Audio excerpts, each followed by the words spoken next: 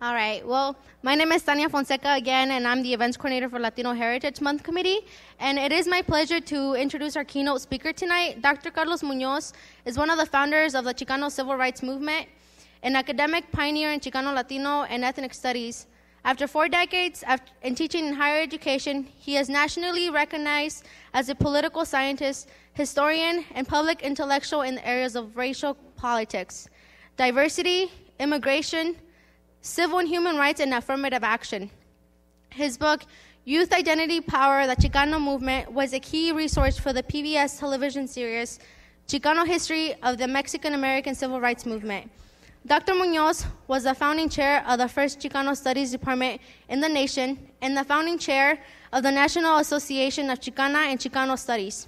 He currently serves as the professor of emeritus in the Department of Ethnic Studies in the University of California, Berkeley. Please join me in welcoming Dr. Carlos Munoz. Gracias, gracias. Buenas noches. ¿Cómo estamos? Llenos de vida y música y comida. anyway, good evening. To translate, I just said, hi, you all. How you doing? Um, you're full of music and food and, and joy. Uh, it's always joyful to me when I'm asked to come or go speak rather to uh, an event that is organized by Latino Latina students in particular. Of course, staff are okay, but you know, uh, los importantes, the important ones, uh, the students in the audience, and uh, I, am always, um, you know, mindful of that. I would like to thank el señor compañero de la vida, Aurelio Curvelo, and the, uh, the Latino Heritage Committee for inviting me to speak tonight. And also those folks who were kind enough to co sponsor the event with enough money. Yeah? Uh, in case you may not know, uh, the origins of the Hispanic Heritage Month or Latino Heritage Month, uh, which whatever your choice is to call it, uh, goes back to the year 1968, the year when Mexican American students of my generation founded the Chicano Civil Rights Movement. And one of our first actions was to demand that the U.S. Congress and the President of the United States, Lyndon Baines Johnson, acknowledge the historic contributions of Mexican Americans uh, and other Latinos that have uh, been made or that they have made uh, historically in times of war and peace. In particular, we wanted to celebrate uh, our cultural traditions, but most importantly, to celebrate the legacies of struggle, okay? Uh, the struggle that our ancestors have waged historically in this part of the world for social justice and uh, freedom.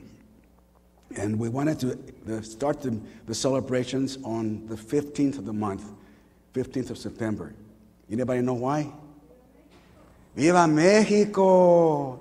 That's the day in 1810, a little bit over 200 years ago, that, the, uh, that a Catholic priest by the name of Miguel Hidalgo rang the bell in Dolores, Guanajuato, calling for the revolution against the Spanish Empire and also for the end to slavery. Uh, and uh, so this is why we thought September 15th would be a good, good day. So therefore, it overlaps into October, right? So you can celebrate some more until the, uh, until the 16th, which is tomorrow, right? Uh, so ahí vamos. So um, prior to the uh, to that particular uh, uh, historical event of starting this particular monthly celebration every year, uh, we were an invisible people. Uh, Mexican Americans were invisible to uh, the majority of Americans. Uh, Puerto Ricans were invisible to the majority of, of Americans. Cuban Americans was más o menos, you know, they were a smaller, smaller percentage of the population. Back in those days, in the 60s, there were only three visible Latino populations. The Mexicans were the dominant ones, Uh, Boricuas were next, and then, and then Cubanos.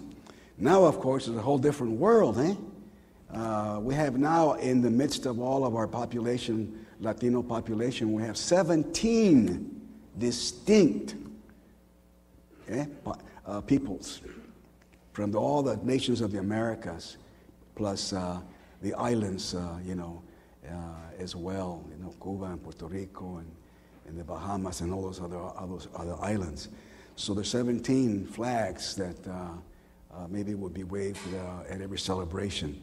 And um, so again, uh, it's a whole different world. But to go back to the 60s, in particular to my particular experience, why am I the man I am today? Why am I a scholar activist? Why am I a public intellectual?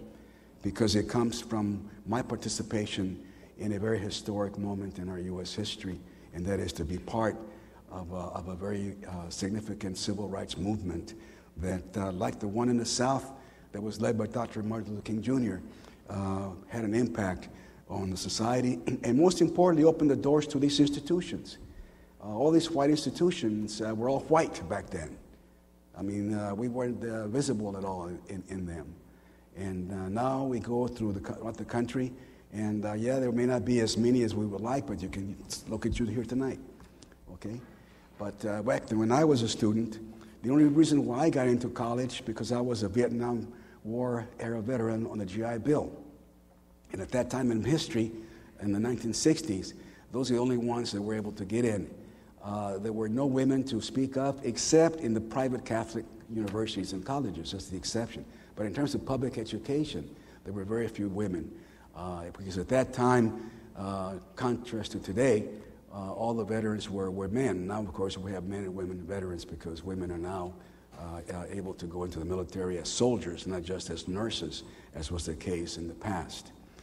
So um, uh, I grew up poor, like the majority of those of us who started the, the, the movement. We were all poor children of working class, poor immigrants from Mexico. Uh, and uh, we uh, had you know, different kinds of experiences here and there, but all of our experiences combined are collectively speaking contributed to our politicization or radicalization, if I can put it that way.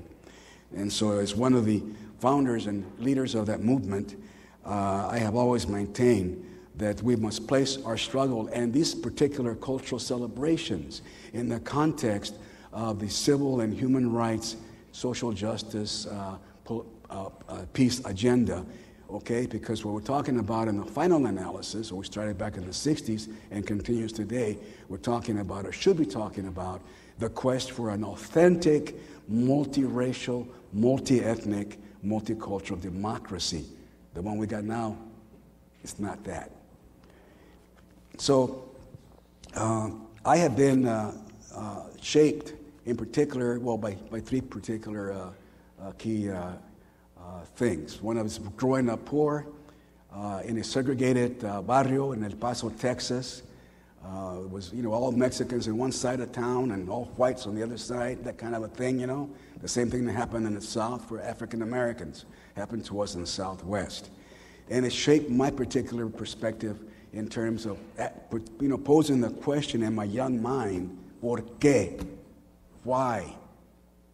Why is it when I go across town, things are better over there? Hmm? Why is it that we have to go to the theater, the movies, see movies in, in this part of town and not on that part of town? Why can't we not go to swimming pools along with white youth? That kind of question, you know what I mean? And mind you, being young, pues, you know, no sabemos, we don't know. We don't know the answers. So then, uh, in spite of the fact that I grew up in that particular situation that uh, was full of injustice, uh, I was still a very patriotic American because the public schools did a great job of programming us, okay, into, the, into believing the myth of democracy, okay? So what did I do, like all of us and some, some people, young people today still do? We uh, joined the Army, the Marines, or whatever, to, you know, prove our patriotism, hoping that if we served this country in the military, went to war, and died in the war, we would come back either alive or in caskets, but with respect, with acceptance that we were Americans. It didn't happen that way, though. It didn't happen that. We didn't happen that way. In all the wars that we fought, we've been in every single war that this country has fought, beginning with the Civil War, even. Okay, uh, until until now. But so we were we were angry uh, veterans, those of us that were fortunate enough to be in college back in the '60s. So we decided to make this particular uh, to make a, uh, a revolution uh, for our particular social justice and to open the doors to higher education because at that time they were not open at all for the most part. One of the things that we did uh, uh, that led to my second, my second uh, experience was again uh, uh, join the military, like I said. And then in the military, I uh, was fortunate enough because I was able to know how to type. You know, I learned how to type in, in high school. Because when I was going to high school, there was a very vulgar, racist tracking system. If you were black or brown and you were a, a young guy, you got put into the industrial arts major, okay? Uh, wood shop, auto mechanics. We were not given the academic uh, curriculum because it was felt that we were intellectually inferior, okay? That's what the mindset was at that time. If you were a young woman, a young Mexican woman or a black woman, you got put into home economics, or uh, if you were lucky, business major, okay? To learn how to be a secretary, clerical type of person. But home economics, because you were going to be, they thought you were going to be a maid. That's all you were good for. The thinking was back then, in my day, in my, in my, of my youth. So anyway, the good thing that happened to me was that my, my white counselor asked me, what does your father do for, for a living? I said, well, he works with his hands, labor, hard labor. And she says to me, that is a very, very honorable profession. You should follow in your father's footsteps. So what I know at that time, también, you know, I was only 15 years old, around there, 14. I go home, Mama, Pa, guess what? I said, what? Yeah, um, I'm going to follow in your footsteps. What? Man, he got angry. What the hell are you talking about? You go and tell that so and so, I won't repeat his words, so and so that I want you to be able to graduate from high school. He had a fifth grade education and work with a pencil, not a pick and shovel. Hmm? Pues I voy the next day. Ma'am, uh, my father doesn't want me to walk, to, to walk in his footsteps or follow his footsteps. So he wants me to work with a pencil. So she thought, hmm. She probably was thinking, ah, cabrón, what do I do now? Or translated, she was probably thinking, gee whiz, what am I going to do now with this Mexican kid, you know? So he, she says, pencil, hmm, okay, I'm going to give you a business major. Okay, sounds cool. Yeah, you can be, learn how to be a, youth, a used, used car salesman. All right. So I got into business major and I go to class, all these girls, right? Yeah, I was a happy kid. Complain? Nah. Tracking system? Nah. Of course, I didn't know there was one. So I learned how to type. Now, that came in handy when I went into the military. I was trained as a soldier, I was trained to be a killer, like all soldiers are. And I was ready to go to the battlefront and give up my life for this country. But because I knew how to type, I wound up in Army intelligence. Hijo, that sounds pretty impressive, huh? Army intelligence? Wow, you smart Mexican. But that's not what it was. I, I learned that uh, intelligence in the Army is an oxymoron. Y'all know what an oxymoron is? Eh? When you catch the word moron, oxymoron, that gives you an idea. Dumb. It can be, you know, it's kind of contradictory because in reality the people are too smart in Army intelligence, as we know by all the fiascos that are that are Army intel, our, our CIA and all these people make every single day they're doing a fiasco. Una pendejada as we say in Spanish. So, anyway, uh, as, as a, a, a, member of the Korean Military Advisory Group, I was sent to South Korea just before Vietnam started. And uh, I witnessed a coup d'etat. You all know what a coup d'etat is, right? If you don't know, it's a fancy French term for the overthrow of a democratic government. All right?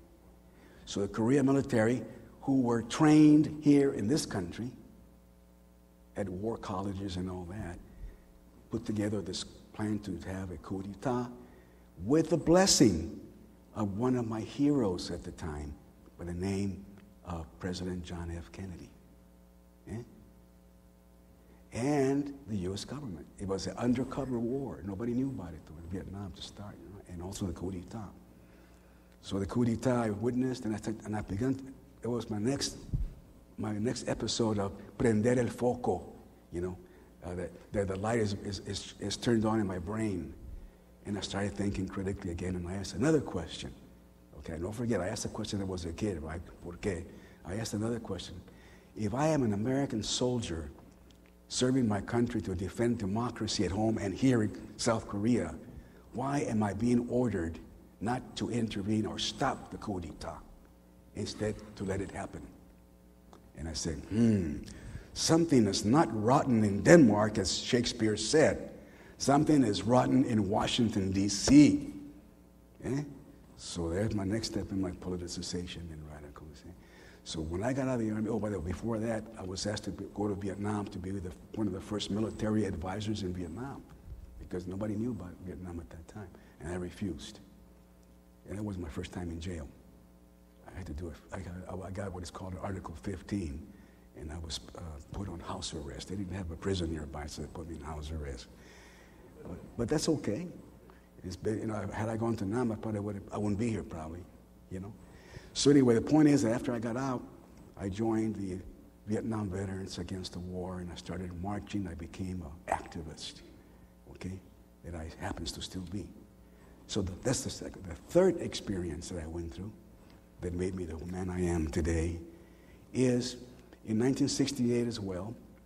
Uh, we were sitting together, some of us veterans and, and students, and we started talking about what is the problem? Why is it that we, we all, you know, activists in the anti-war movement, activists in the farm worker movement, activists in the Southern Civil Rights movement, but what about in our own backyard, in our barrios, in our own backyard? Nothing's happening there. You know, things continue to happen as they have always happened, you know, apathy, oppression, and all that. So that was the next step. We, we said, we're going to have our own revolution. So we started our own movements. That's what we did. Started the Chicano Civil Rights Movement. We call it the Chicano Movement for short. And the first action that we did after, of course, you know, demanding the Hispanic month, Latino month, was to uh, uh, stage and organize nonviolent high school student protest in segregated East Los Angeles, California. And that's what kicked off our civil rights movement, really, in terms of overall the Southwest and the Midwest. And uh, so uh, 10,000 students and their families, you know, and, and teachers and staff. We didn't have any, but there were white teachers and staff that, and black teachers and staff. And together with African American students in southern, South Central Los Angeles who walked out in solidarity uh, with us, uh, we, we uh, got the headlines that we had never gotten before. They didn't know what to do with those people in power. Ah, what, is it? We're already dealing with the blacks, you know, with, uh, with all the, you know, King, Dr. King's, Malcolm X, and all those people. Now we got them to deal with. Híjole, you know, they didn't like that. So what happened then, after about two months later, after we had these successful walkouts demanding the end to racism in the schools, uh, demanding the end of, uh, of, of, poor education, demanding quality education, and also demanding things like enchiladas in the, in the uh, in, you know, uh, in the cafeteria you know, just not to, not to forget about food. But uh, uh, so then uh, at 2 o'clock in the morning, one morning, I was a first year graduate student and I was working on my research paper that I was due the next day. And when you're an activist, you know, you gotta really kind of, you know, uh, have to work hard uh, sometimes to meet the deadlines. And uh, there was a knock on the door, and I go to the door, and I was in my calzones, you know, my uh, my t-shirt, my under was a hot night, and I was working at the typewriter in the kitchen. Uh, I had a stack of books there on the, t- the kitchen table. I go to the door, bang! Before I even opened it, it was crash, came crashing down on me. The, the, the, the, riot squad, whatever the police were called, when they got on their helmets and they got on the bulletproof vest, came in with the guns drawn, pointed at my head. I said, oh, gee. I didn't know what to say. I was just kind of shocked, you know. And uh, so they said, uh, You're under arrest. Uh, I said, Why? Uh, never mind why. You know, where's your, where's your guns? Where's your guns? I said, Guns? I haven't had a gun since I was in, in the U.S. Army. And uh, so they went and searched the house for guns and weapons, and they couldn't find any weapons of mass destruction, end quote. so they go to the kitchen and find these books. And what, guess what the books were about? Communism. Karl Marx, Leon Trotsky, eh? Uh, all these evil, these devils, okay? Because I was taking a seminar on international communism from an anti communist professor, and I didn't know anything about communism, so I wanted to learn about it. He said, What's going on? What is, what's so bad about communism? And this is what I was doing a paper on. So the cops go to the kitchen and say, Ah, oh, they yell out, We got, we got the proof. We got this guy where we want him, you know. This damn commie. We're going to get him. So, anyway, make a long story short, I wound up in prison. Became a political prisoner in our democracy. So there I am in a prison cell with people who were, had, who were there who had killed somebody, committed murder, who had committed armed robbery, who had committed rape, who had been uh, drug lords. There I was with these guys. Huh? And they asked me, what did, what did you do? What did you do, man? I bet, I bet, what did you do? I organized nonviolent student protest. Wow, you know, they didn't believe me. Yeah, I mean, they thought I was an undercover cop trying to get the goods on them. So I had to defend myself a couple of times, and I finally said, Look, this is ridiculous. I said, Man, if I was a cop, do you think I would tell you that story? I would tell you that I killed somebody like you did. Right? Oh, yeah, that's right. so then he says, Well, why, why, why are you here then? And I said, and I thought about it. You know, I can't, I can't tell you in a few words. I got to write a book about it. And that's the book that is out there. That's the book that I wrote. I think it's out there, right? It's supposed to be out there. But anyway, uh, it's entitled uh, Youth Identity Power, the Chicano Movement. The story about why it was that my generation decided to put together this particular movement. One of the things that we did uh, also in the Chicano movement is organize our own political party, our own independent political party we called La Raza Unida. Contrary to right wing people, La raza doesn't mean just race to us. It's, it's the people. La raza means the people. It's not a racist term. It's what we call our political party. But uh, the reason, like all third parties in this country, we, the reason we didn't get anywhere is because, you know, we didn't have access to mass media, or we didn't have, we couldn't raise the millions of dollars that it takes to, to, to campaign in our so-called democracy. Have you ever wondered about that? If we live in a democracy, why does it cost, why does it cost millions of dollars to run for political office? Why? It shouldn't be that way, huh? That means it leaves a lot of, it leaves a lot of people out. It leaves it, only the rich can run for political. Only the rich can be can be presidents. Yes, Obama is rich. Okay, all presidents are rich. So ever since then, I have been speaking truth to power.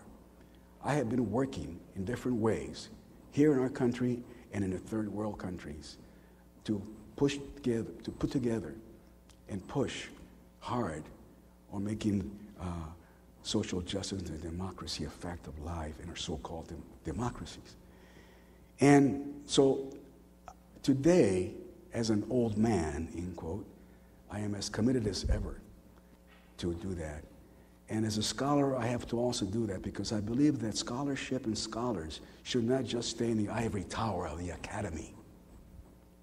We have the responsibility because of our knowledge, because of our research, to become part of the real world out there, to change it for the better.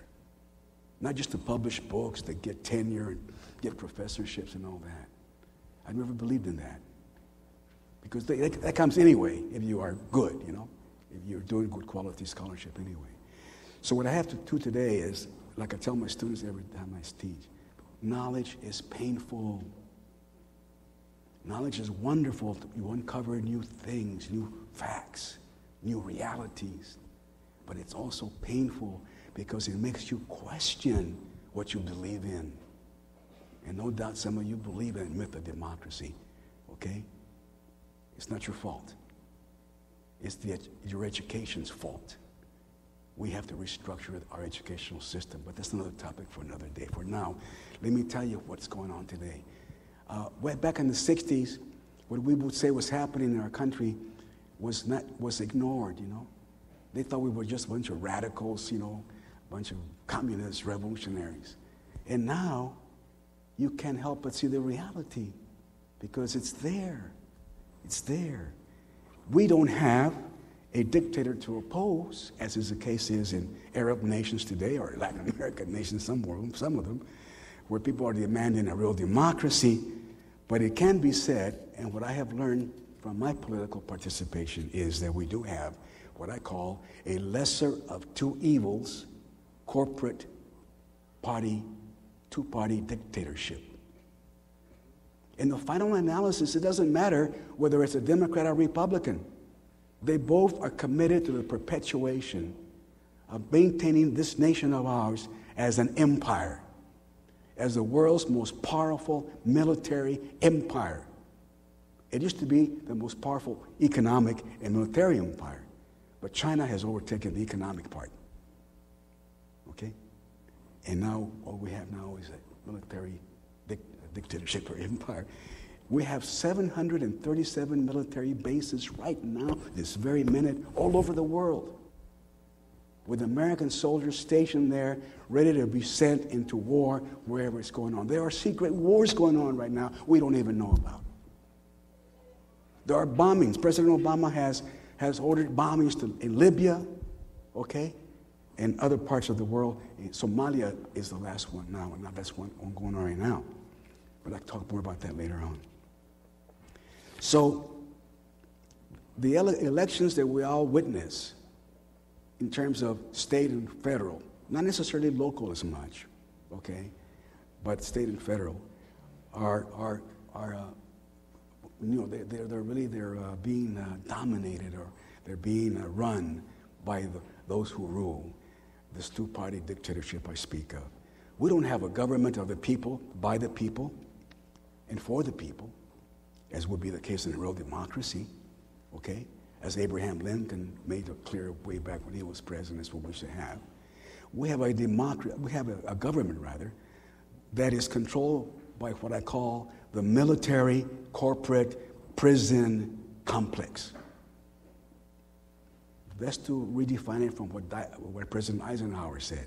Some of you remember President Eisenhower, you might have studied it, you might have learned it.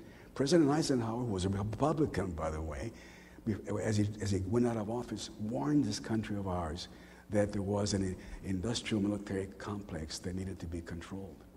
Well, now we have what I call a military corporate prison complex that needs to be controlled because it, it, it holds power, all of us. We got to stop that. And we got to come up with a new politics that's going to do that eventually. So this is why President Obama is, he might be well-meaning, and I gave him the, I gave him the benefit of the doubt. He's a great guy. I love the guy, you know, charismatic, one of the most intelligent presidents, if not the most intelligent president we've ever had. I love his family, you know, beautiful wife, children. Wow. And he plays basketball. And I wish I played basketball with him. But uh, he's president of the U.S. empire. And as president of the U.S. empire, he continues a war that Bush started in Iraq in, he makes his own war against Afghanistan.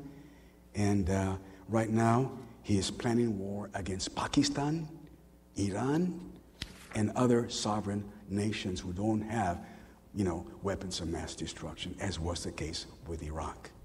This is why President Obama bailed out Wall Street, the banks, and other financial corporations that are responsible for the economic crises our nation faces today. Why some of you have family, if not yourselves, who are out of jobs, out of homes.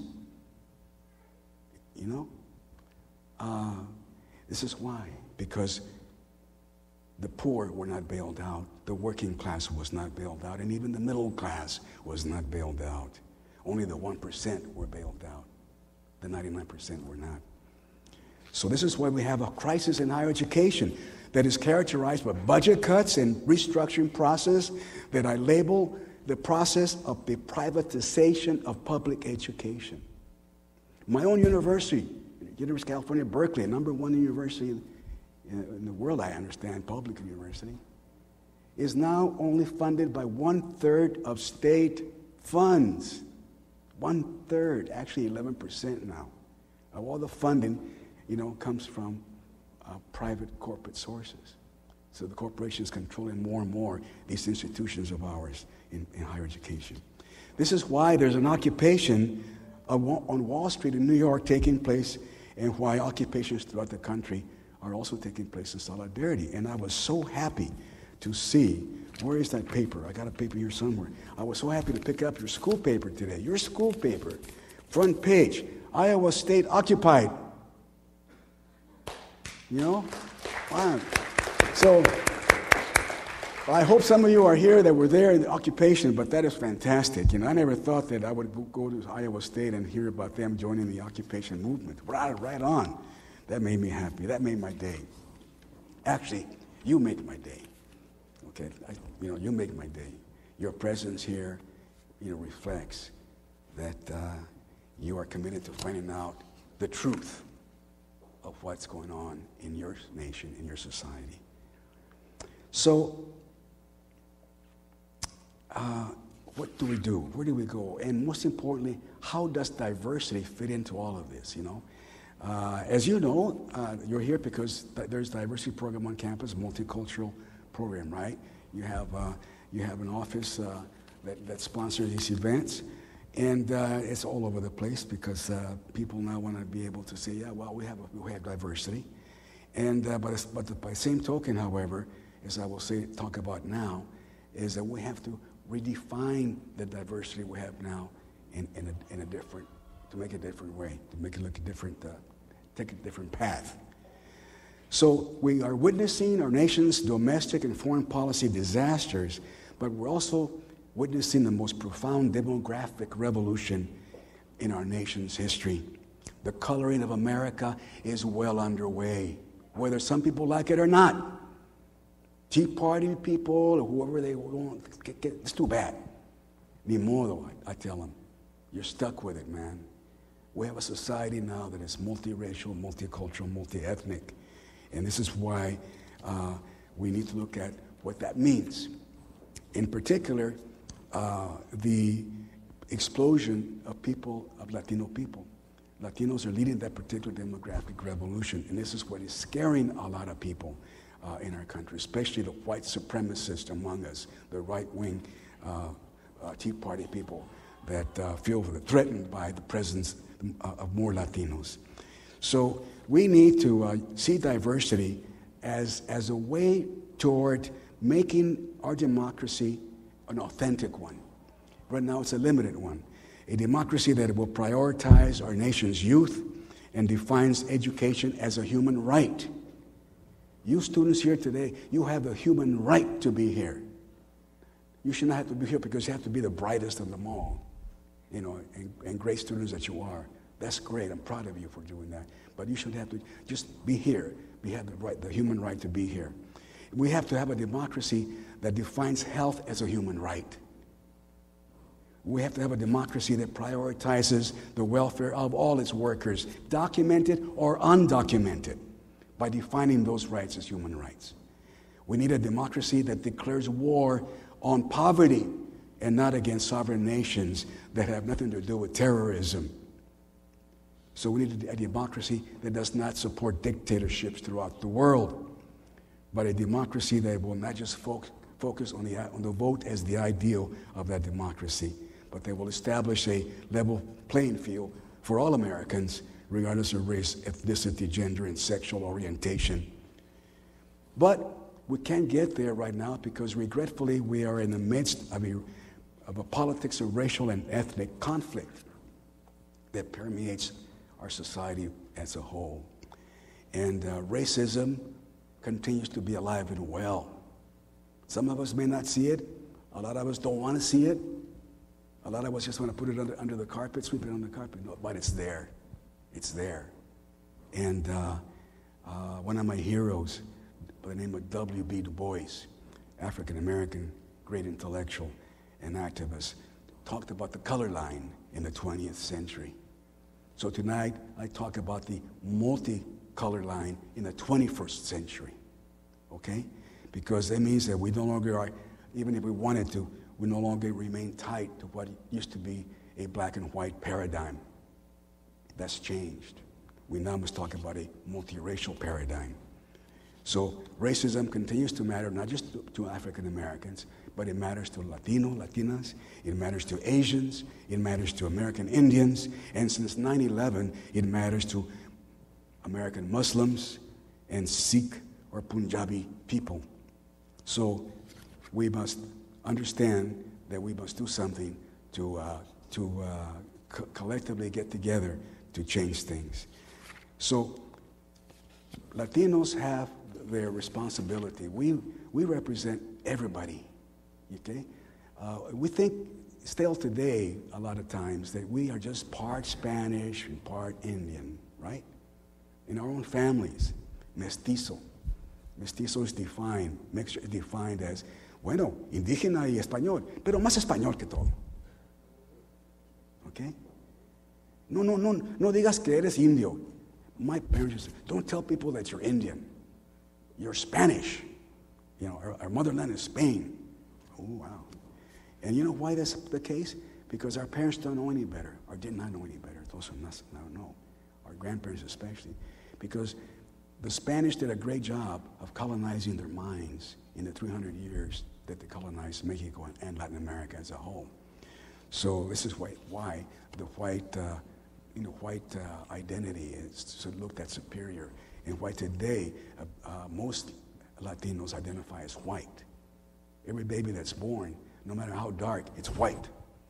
God, I used to get it. When all my five kids were born, I was always on the warpath at the hospital.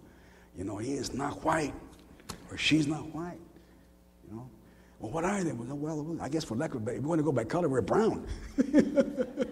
but we're also black, you know. We're also, we come in all colors. So in reality, as I went about my, my research as a young scholar, beyond what I just mentioned, is that I researched our African roots. We, as Latinos, Latinas, are part of the African diaspora. Why? Because Africans got to Latin America long before Columbus. Okay? Long before Columbus. There's evidence. The evidence, for the most part, can be found or seen. You can't miss it. Big boulder sculptures. Olmeca heads, they're called. The Olmeca civilization was the first major civilization of the Americas that emerged in Veracruz, Mexico. Okay? And you look at those, those sculptures, those you know, you can, you can internet, you Google, Google them, Olmeca heads, and you see the face of Africa. Yes, you do. But some people don't want to see the face of Africa. Say, well, that's just an ugly indigenous person. In quote, you know, they don't want to. They don't want to admit it, but it's difficult for them to admit it. But we're also part Asian. We got Af- Asian roots because the Spaniards not only took Africans, African slaves to Latin America, all over Latin America. They went to Veracruz, Mexico, by the way, the African slaves. Okay? But they also brought Filipino and Chinese slaves to Mexico. Hmm? All right? So there you are. And of course, we are Europe, part European también, you know. The conquistadores were Europeans. And then later on, there were European immigrants who came in later on uh, to parts of Latin America. So we represent religiously, well, most of us are Catholic, but we have in our midst Jews who were welcomed with open arms uh, after the Inquisition took place in Spain. Okay? There's a lot of Mexican Jews walking around. We have Arab Muslim roots as well. I had an uncle by the name of Nasser, Egyptian, you know, Muslim name. Uh, and I had an uncle who looked like an African American and he came over to live over here too. I probably have a Chino somewhere too, but I don't know yet. That was my nickname growing up in the barrio, El Chino. So I don't. anyway, so the point is that we represent everybody. We even got a lot of Irish Mexicans around. You know anybody Irish here tonight? You know, you know about the Irish San Patricio, you know about the San Patricio Brigade? The St. Patrick Brigade during the war against Mexico that the U.S. Empire waged to take away half of the Mexican territory. There were, there were a group of, of, of Irish, Irish uh, soldiers, immigrants from Ireland who were, were encouraged to join the U.S. cavalry to become citizens. Sound familiar? And so they went to war against the Mexicans, right? And when they were captured Mexican soldiers, or Mexican soldiers would capture them, they got along great. You know? And the Irish would talk to you, wow, man, I like these people. They're just like us. They're Catholic. They like to drink beer. They're family or they love family. They're family oriented. They prioritize family like we do. We're on the wrong side. So they didn't jump ship because they weren't sailors. They jumped horses. They became part of the Mexican army. And to this day, they are considered one of the most important heroes in Mexican history in Mexico. I have a cousin by the name of Carlos O'Reilly, by the way. They're not, they're not very so again, we have, we have this particular reality. So we have to understand that and, and, and accept it and embrace it. And knowing full well that as you young people in particular develop into leaders, that you not only have the responsibility to represent your communities, but you also have the responsibility to represent all of us. And that you have to become the bridge builders, the kind of leader that is going to you know, build coalitions that are going to work. Not just symbolic ones, but ones that are going to work. But before we get to that point, uh, you have to deal with what's happening now in terms of white supremacist actions against immigrants. We not only have wars going on in the Middle East and other parts of Latin America, in Mexico, a war between the cartels and the Mexican army. We got a war going on right here against immigrants being waged by the U.S. government. In particular, being waged by ICE, which uh, is the agency of the Homeland Security responsible for the enforcement of immigration laws, who right this very minute somewhere nearby or far away, not too far away, are terrorizing an undocumented family. That's going on with the blessing of President Obama. That's not right. In Alabama, uh, or rather Arizona, you know, the first laws came into play, and they're now being enforced that I call brown profiling uh, laws. Police have the right to stop you and they ask you for documents. If you don't have them, you are shackled, arrested like a criminal because you have been criminalized. It is now a felony not to have papers in Arizona. It is now a felony not to have papers in Georgia. It is now a felony not to have papers in Alabama. And there's other states in the union that, that the people on the right wing, Tea Party people, are trying to also do the same thing. And uh, in Alabama, it's really the most uh, draconian law because there in Alabama, they are, they are ordering teachers in the classroom to identify kids who are either documented or children of undocumented parents. So, you know what's happening in Alabama? Kids are not going to school.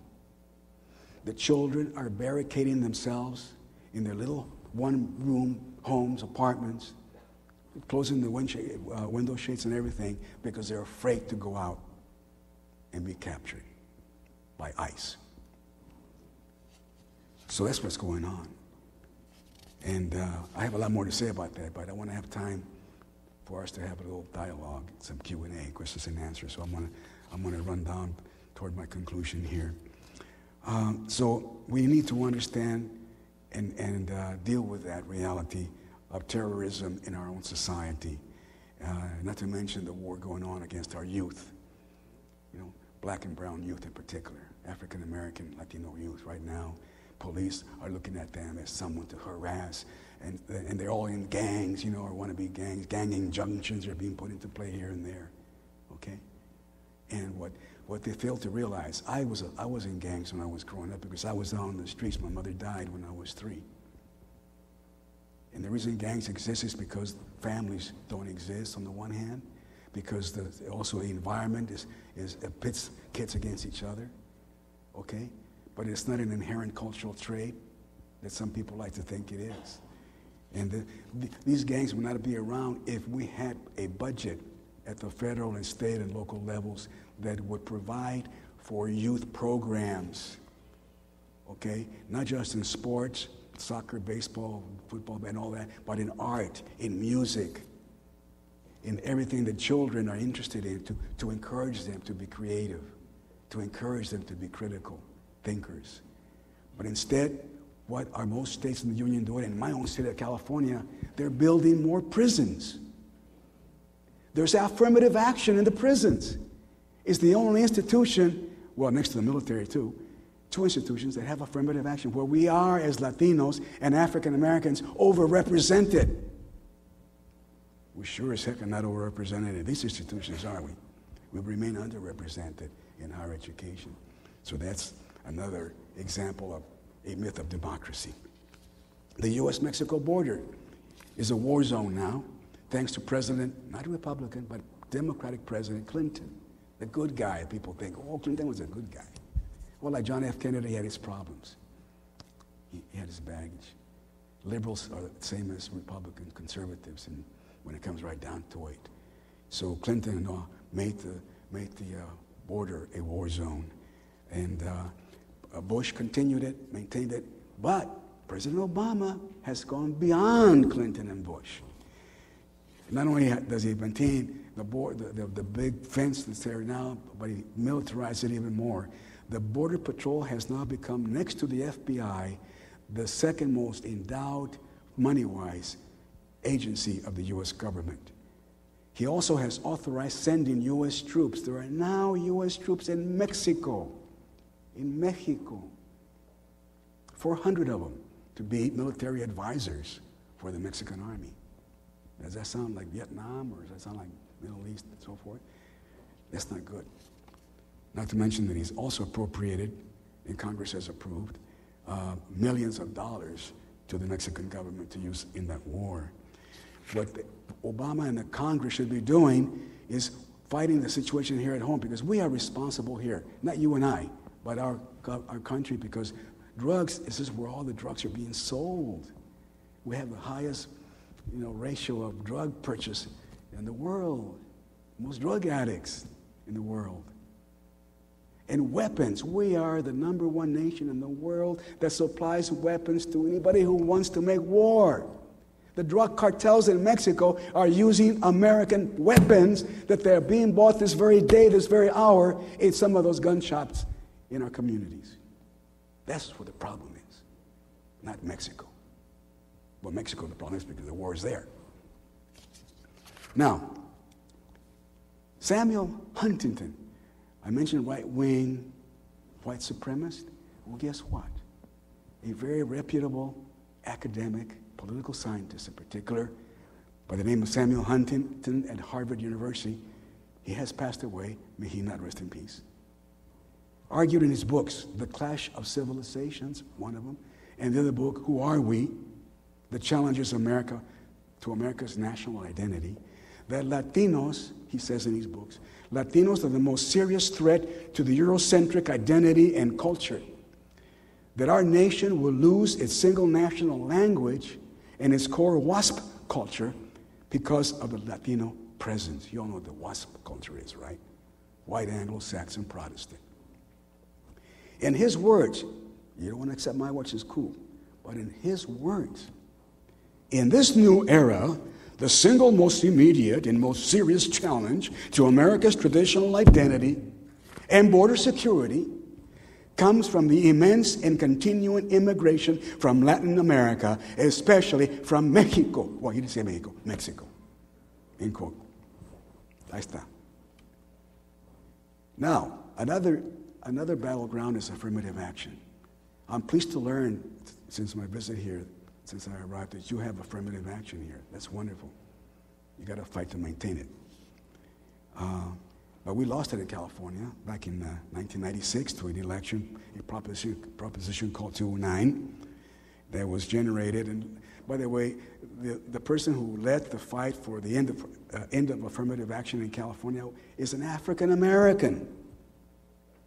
He was a regent at the University of California. And even adding more insult to injury, that man was a product of affirmative action he got the opportunity to become a very, very uh, uh, uh, profitable uh, businessman because of affirmative action. Then he turns around and decides that it's not a good deal for other people. Uh, other states, Texas, Michigan, uh, the, is watered, watered down affirmative action. And the, the whole anti affirmative action movement in this country is predicated on the belief that there are racial preferences, that affirmative action is a racial preference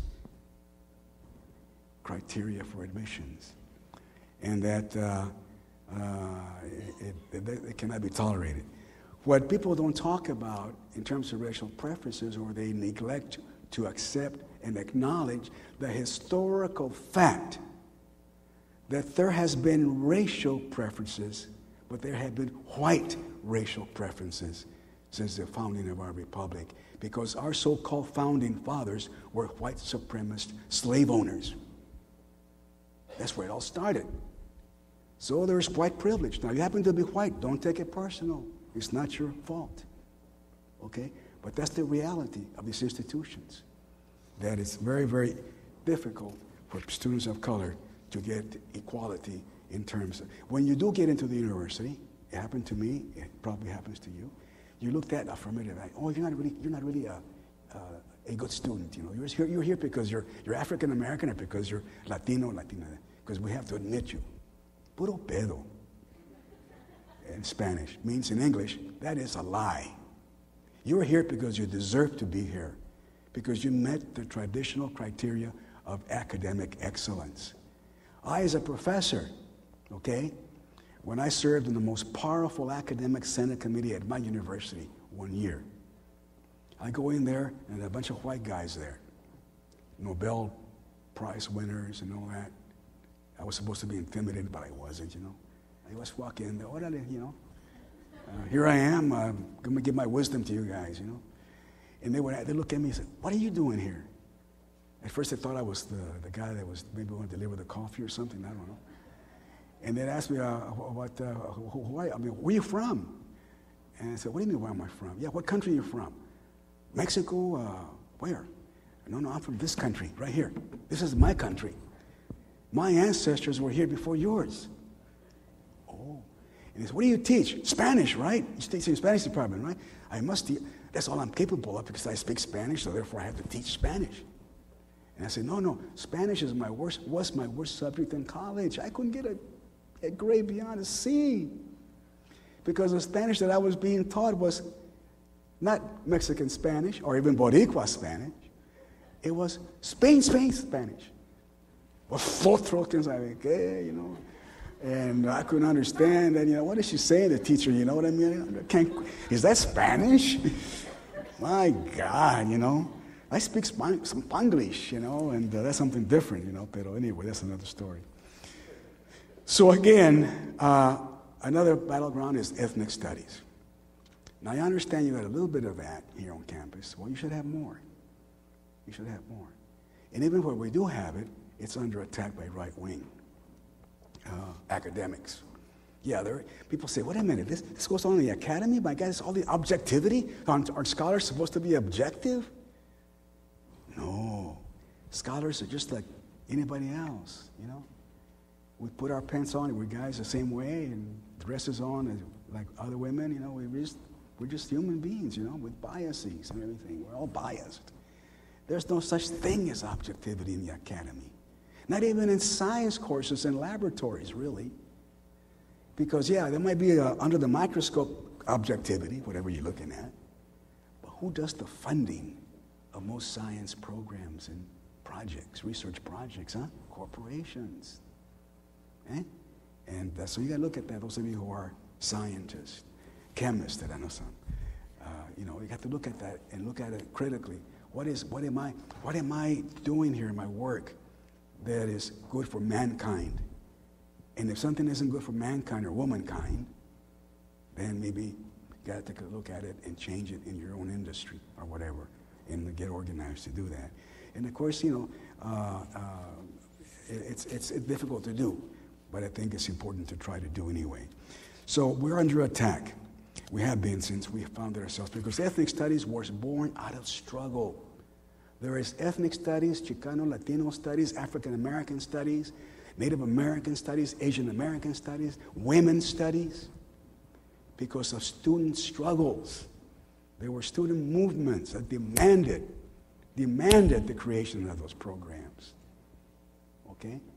That's what we have them, not because the, the, the chancellors and the regents of institutions like these wanted them, they, because they were kind, because, yeah, we're going to give you this or you know, whatever. No, no we went to battle. At my campus, it, it was a real battle because even though it was a nonviolent protest, the police were, were not violent. I mean, nonviolent. They were violent. To this day, when you look at, examine what's going on right now with protest actions uh, in terms of occupation movement, you got to think about why is it that the nonviolent protesters are being arrested, but the criminals are not? The criminals that are in the corporations and the banks and all that responsible for the problem. Why aren't they being arrested? Eh? But that raised that question. So right now there's a battle, but, but, but they hold back, the right wingers. But they, do, they are attacking ethnic studies at the public school level in Arizona again. In Tucson, Tucson, Arizona school, public schools are the only ones in the whole country that have ethnic studies, Chicano studies, but not just like one course or two. They have a whole bunch of curricula. And kids are graduating because they, they learn about themselves, they learn about their history of their ancestors, they get, they're proud of who they are, and they develop critical thinking, and they learn about American history, they learn about politics, they, they learn about everything that the kids that are not in those programs don't learn. And they're going to college. So there's right wing uh, politicians, beginning with the governor of Arizona all the way down, who have organized and made a law against ethnic studies that's being fought right now in the courts they want to do away with it. Why? According to them, because they advocate ethnic solidarity instead of treating people, individuals, as individuals. Wait a minute. Run that by me again. Or they foster anti American attitude on the part of Mexican American students in particular. Wow. The reality is that ethnic and, Chicano studies foster critical thinking in a curriculum that teaches the truth of American history and the contributions made by all people in our, in our society. So the problem with, with, uh, with that particular right wing perspective, what I call the, uh, the cult of ethnicity perspective, is that it does promote ethnic and racial conflict. A lot of white folks who are ignorant of the reality fall privy or fall vulnerable rather to that particular politics. And uh, and the reason that it's wrong, that perspective, is for the following two reasons. One, it fails to understand the multicultural and multiracial realities and complexity of contemporary society, the most obvious one. Number two, it fails to address the historical origin of those realities and that complexity. More specifically, it does not address the fact that America has never been a homogeneous nation rooted only on European cultures and values. It fails to address the historical fact that diversity has been an American reality long before the arrival of Europeans to this continent. Diversity and multiculturalism are authentically American in nature. The indigenous peoples of this part of the world were nations. They, had, they were distinct cultures. They had their own languages. There were all, over hundreds of them. Okay? They were not all the same. They all didn't wear the same feathers and powwow and dance, you know, like they do in the movies, you know. They're all different. That was diversity was there from the very beginning. So what do we do? In conclusion, what must we do? What must be done? Well, it's important for all of us to commit ourselves to a new politics that can build on the positives of the growing diversity critical to develop amongst our young people in particular. You young people begin to think about becoming the leaders of the future with a new vision of the future based on those multiracial realities that I speak of. And dedicated, like I said earlier, to building bridges uh, between different races and cultures. Okay? So, what do we do? We got to redefine diversity. We have to redefine diversity uh, from what it is today as a symbolic token kind of a thing today Okay, well, the, the, the, ruling, the ruling people and the universities can brag about, oh, yeah, we got X number of blacks and X number of Latinos, and X number of Asians, you know, we're doing good. But we that are there are being programmed, are being prepared to go into the existing arrangements of power. Either you become a Democrat or a Republican, for example or you become a corporate leader, you become a leader that is going to continue to perpetuate the problem. So we have, or you have in particular, because I've been there and done that, you have to get out of that box that you've been put into. That box is the problem. So you have to decide am I going to be part of the problem or do I want to get out of that box into a new box that is the solution to the problem? Do I want to be part of the solution to the problem or part of the problem? That's what you have to decide individually. Okay? Uh, so, people of color like President Obama either have been used or they themselves allow themselves to be used as tokens, as, as symbols of a myth of democracy and equality in our society. So we need to understand that if the problem is this, the problem is a limited democracy that is run and controlled by a white patriarchy. Now, if you happen to be a, a young white guy, don't take it personal. Again, it's not your problem, it's not your fault. It's those that came before you, way before you. And what I mean by that is that the dominant, all the dominant political and economic social institutions in our society are controlled by that patriarchy.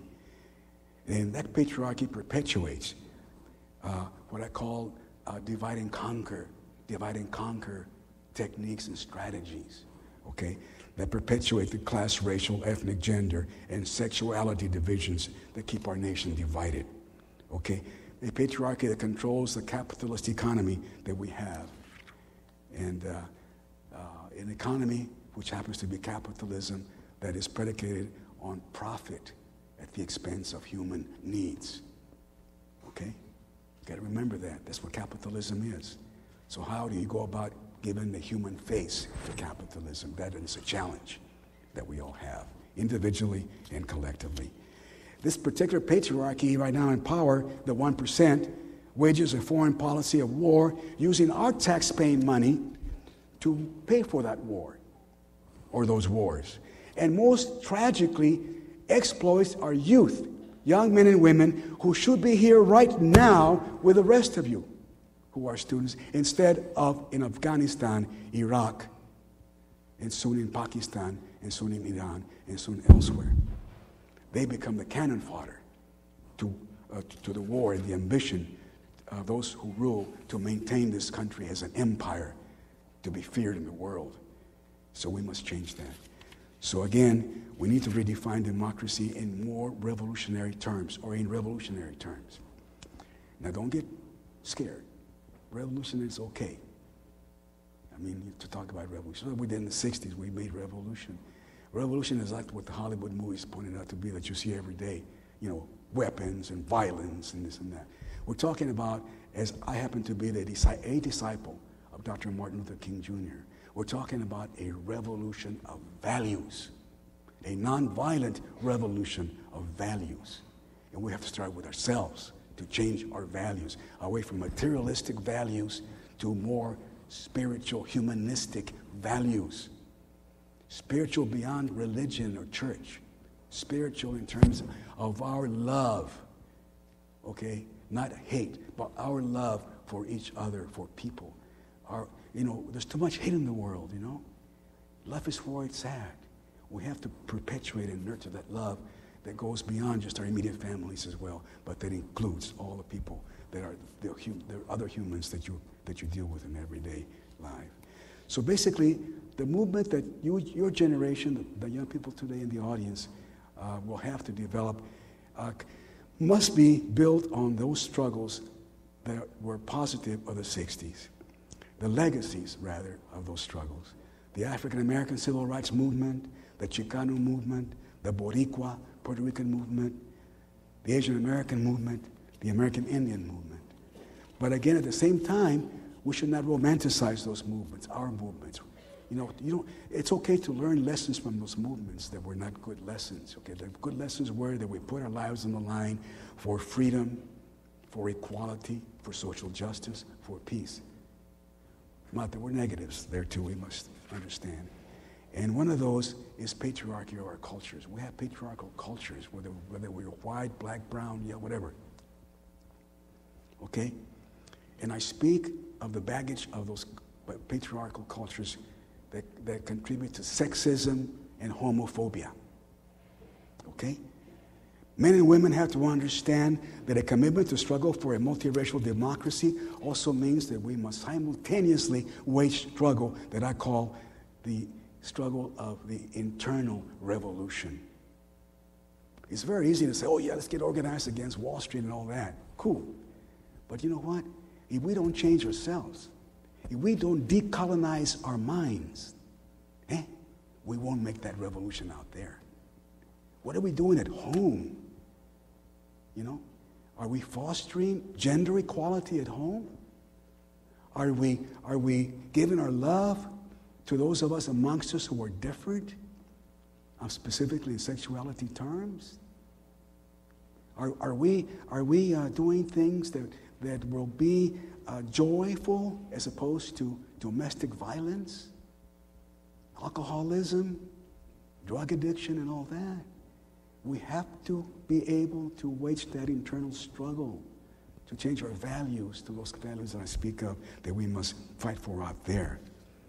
So, we must always look at the positives. Every culture that we represent has positives and negatives.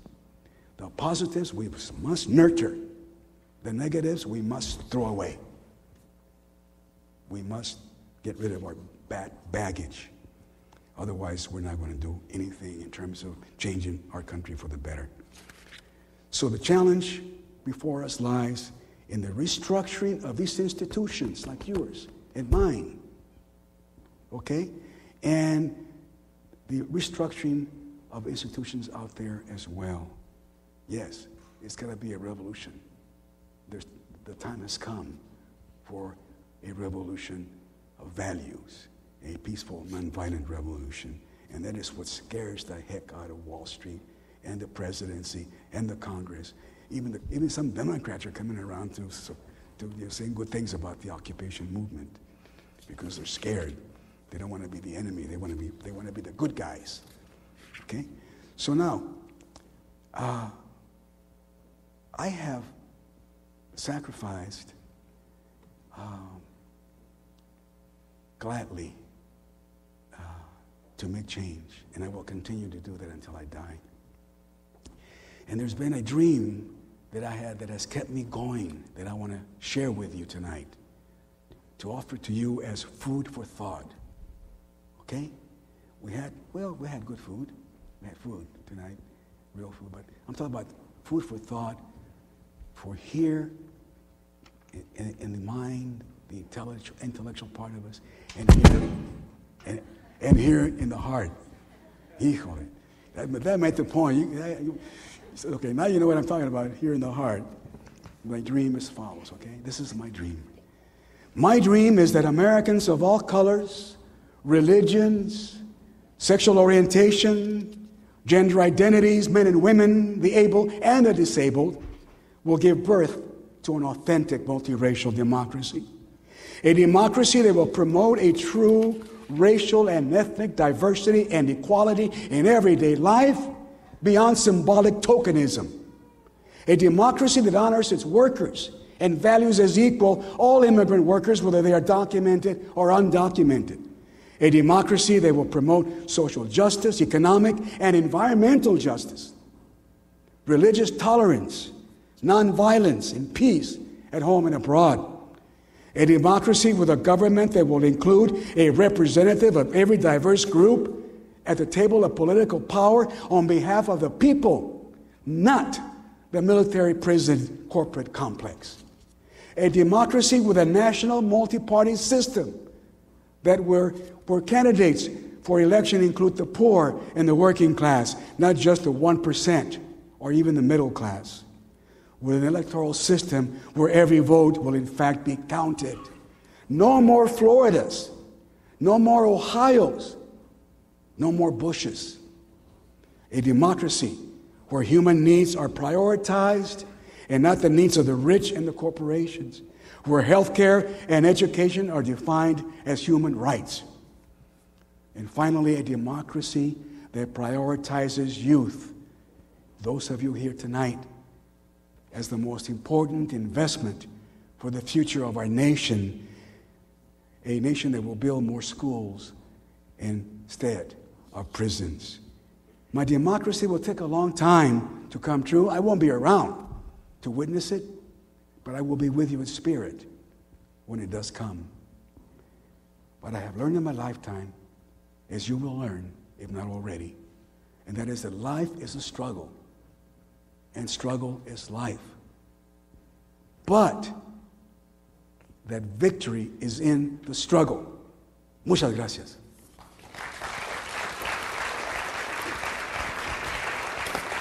Help me giving him another round of applause. Thank you.